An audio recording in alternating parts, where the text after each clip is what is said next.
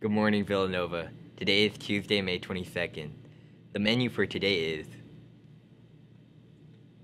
Chicken shawarma. Tomorrow is the last Ogar Bake Sale of the year. Please stop by at break and support the orphanage. The Environmental Club will meet in room 5 at lunch today.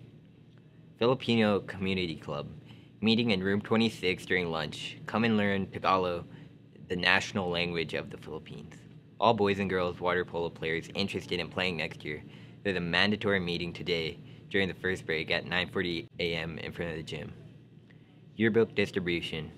Come to the gym after school today to pick up your yearbook. Today's schedule is G, Math, A,